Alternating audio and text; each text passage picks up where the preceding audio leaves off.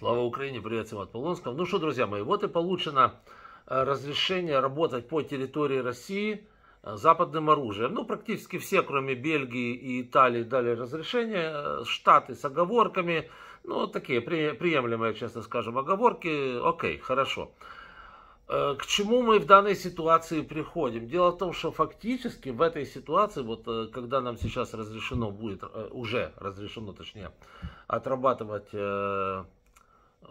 скажем так, ну, 50-километровый где-то, 50-километровую а, зону а, внутри России, о чем, куда мы приходим в этой ситуации. Я вам скажу, куда. Мы выполняем заветы дедушки Путина.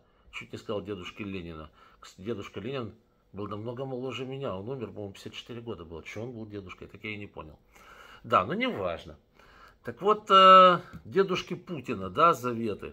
Он хотел демилитаризованную зону на границе России и Украины. Вот, вот к чему сейчас подхожу. Смотрите, фактически западный мир, как и мы, э, смотрим, в принципе, с одобрением на идею Путина.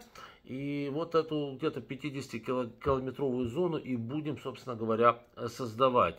Э, о чем идет речь? Это будет зона, свободная от тяжелого вооружения – это будет зона свободная от войск, там будут, то есть э, там будут какие-то там МЧС, э, там будут какие-то э, полицейские формирования, легкие пролетать на бобиках, ну и все, собственно говоря, тяжелого оружия там не будет, потому что оно будет уничтожаться. Вот, и военные части то же самое будут уничтожаться. Единственное, да, то есть тут мы абсолютно согласны с Путиным и, как говорится, э, будем делать то, что он сказал. Но вот единственный есть нюанс. Э, вот эта территория 50-километровая, она будет на территории Российской Федерации. Ну, понятное дело, с той стороны. То есть сейчас ставится вопрос следующим образом, что просто выбить там все, что всю военную инфраструктуру. Нам есть чем это делать, слава богу.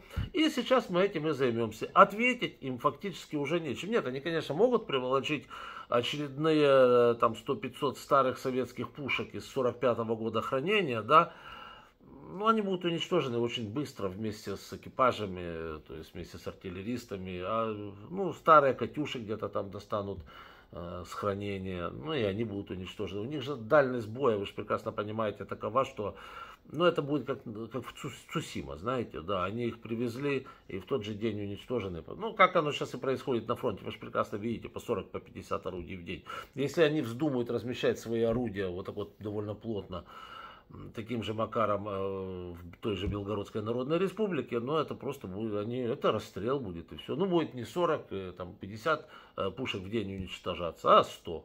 Вот, собственно, и все. И в результате все равно мы, потому что снарядов у нас больше, чем у них пушек, это очевидно, да, вот, все равно мы придем к тому же самому, что артиллерии, бронетехники, каких-то значительных воинских соединений там не будет в этой 50-километровой зоне, э, просто потому что они будут выбиты.